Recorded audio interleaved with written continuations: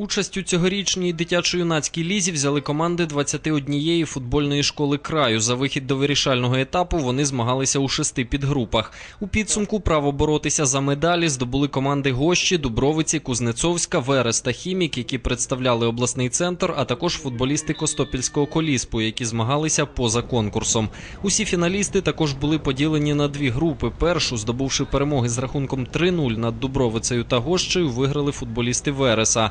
Другу команда юнаків із Кузнецовська. Саме вони і зійшлися у фінальному двобої. У підсумку з рахунком 2-1 перемогу святкували рівняни. Перший гол що ми про це забили, це, везіння трошки, але другий м'яч ми забили, е, хороший м'яч забили.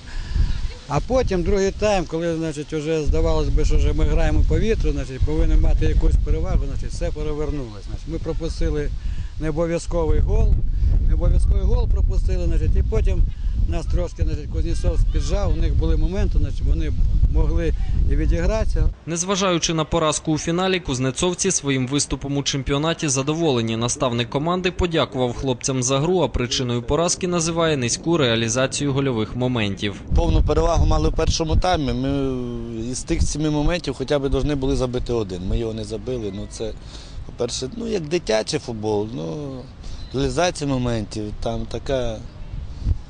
По грі, так. Да. По грі ми, я рахую, що ми, навіть тренер Вереса сьогодні признав, що ми сьогодні були кращі, але ж ну, краще то є результат. Молоді футбольні таланти на Рівненщині є, запевняє віце-президент обласної дитячої юнацької ліги Сергій Сільвай. Втім, усі вони нині поповнюють кадровий потенціал клубів сусідніх областей. Усе тому, що у нас немає своєї команди майстрів. Скільки в нас грає зараз і в прем'єр-лізі наших вихованців є, і в першій лізі, і в другій лізі українського футболу.